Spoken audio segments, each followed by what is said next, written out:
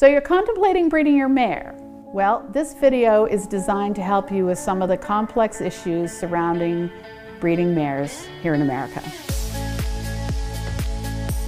It's really helpful to have somebody else look at your mare. And I'm the same way with the stallions. If the stallion jumps really well, but in a particular way that I don't necessarily want to propagate, I might want to put that with a mare who has very good technique compensate one thing for the other as best you can.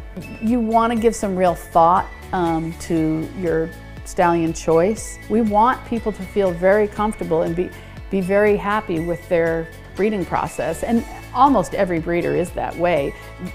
There's a term, the goal is the foal. Be prepared for anything. I would say more importantly, enjoy the process because the process should be enjoyable.